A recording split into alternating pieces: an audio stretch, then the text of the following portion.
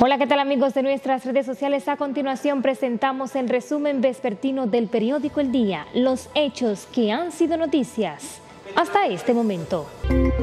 Está detenido el conductor de Patana que chocó con autobús en Quitasueño de Jaina. El conductor de la Patana que impactó al autobús de la Ruta 66 en Quitasueño de Jaina San Cristóbal, en el que 10 personas fallecieron y al menos 10 resultaron heridas, se encuentra detenido. Además, este jueves los residentes del municipio de Quitasueño protestaron en reclamos de que el Ministerio de Obras Públicas y Comunicaciones intervenga el área donde ocurrió el aparatoso accidente, debido a que constantemente es escenario de accidentes de este tipo.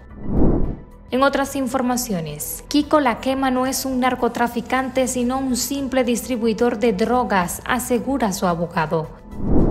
El Centro de Operaciones de Emergencia declara alerta para Peravia y San Cristóbal por aumento de volumen de agua del río Nizao. Y compras y contrataciones públicas señala más irregularidades en licitación del Intrante. Además, en las globales, Israel y Hamas acuerdan un día más de tregua mientras se complican las negociaciones de. En espectáculos, Daddy Yankee se retira de la música como el jefe del reggaetón y fuente de inspiración. Amplía estas y otras informaciones en nuestro portal eldia.com.do y síguenos en nuestras redes sociales en Instagram y Twitter como arroba el día guion debajo de O y en Facebook Periódico El Día. Te informó Catherine Espino. Recuerda que somos Periódico El Día, cada día mejor.